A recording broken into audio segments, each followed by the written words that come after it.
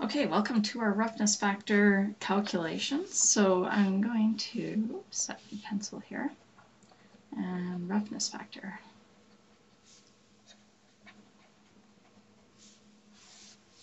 So the first thing that we need to do, usually you're going to be given this, for example. So that what's in these in the grid here. We have lambda, which is our change in distance. So this is the distance as we go along and how much it goes between each individual point, so we can see every single point going along here. And then we have our z value, which is how much it's going, or how much it is changing as it goes. So we can see that, or not, it's not how much it's changing, it is the actual like height value that that is recorded.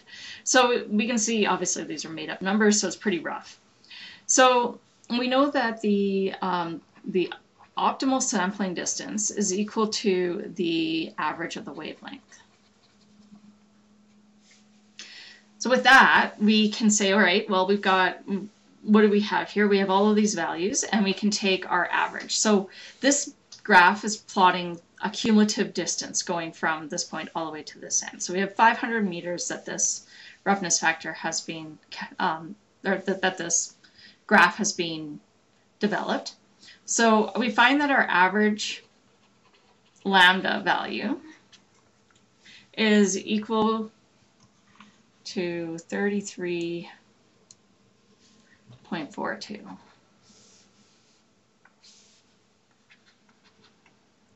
Four, two, four. So if we were to say this in meters, what it's saying is that with how many points that we have here, which is 10, 10 points? 15. 1, 2, 3, 4, 5, 6, 7, 8, 9, 10, 11, 12, 13, 14, With 15 points, the best optimal sampling distance and regular sampling distance is going to be about 33 and a half meters because we're going over 500 meters. So that's a really easy calculation. That's delta opt. So if, but if we wanted to figure out the roughness factor, the roughness factor is our average z value divided by the average um, wavelength. Now this is supposed to be the change in z as we move along. So I'm going to bring in my Excel table here. I have a lot of stuff going on in this Excel table. I'm going to bring it over here. So my roughness factor here, I have my z my lambda and my distance. So this is everything that we've been looking at. And actually this is incorrect. So then we need to figure out what the delta z is. What is the change in height? So at this point, this will be 0. There's no change because it's the beginning point.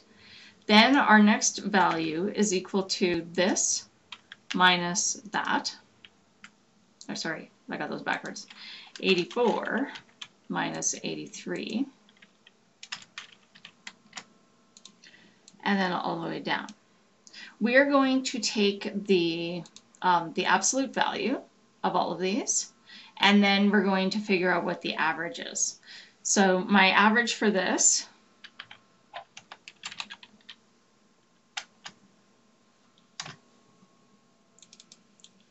and then of the absolute values of these. And I didn't like that. Oh, 83 to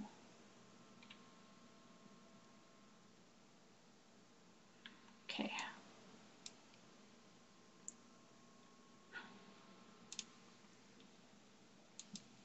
Let's start with just taking absolute value instead.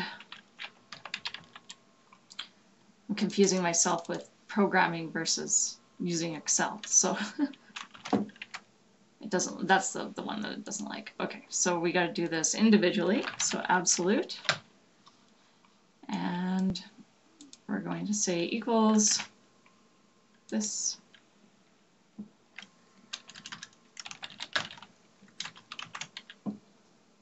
this value.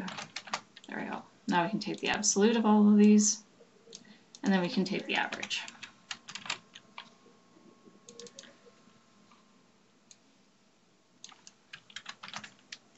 There we go. So our average is 24, and then our lambda is 33. So going over here, we can take our 24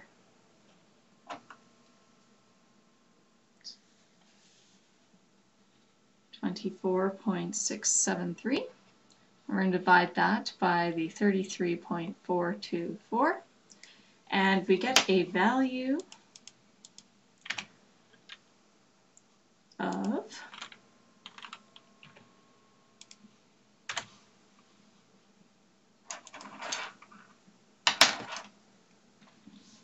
as you are calculating this at the same time, right? Instead of just sitting there waiting for me. this is 0.738. So this is unitless. This tells me how rough it is. So this tells me how much is my my elevation changing compared to my wavelength. Obviously, a one-to-one -one means you're dealing with 45 degree slopes everywhere you go, which are pretty crazy slopes. So we're a little bit less than that. These are still pretty crazy. You can see how much it bounces around. That's what happens when you do random numbers. So the roughness factor is less than 1, which means it's not like super crazy changes, but it's still pretty high. Anything below 0.05 generally is like lower slopes, a little bit less rough. This one is relatively rough. So what do we do with this roughness factor? It is used in different applications for um, for calculating, for example, like geomorphology or geological um, applications. There's many other applications for it, but those are the two that kind of stand out in my head. Uh, I used it in geography because I was using it for snow. Um, and so I was looking at the roughness of the snow surface.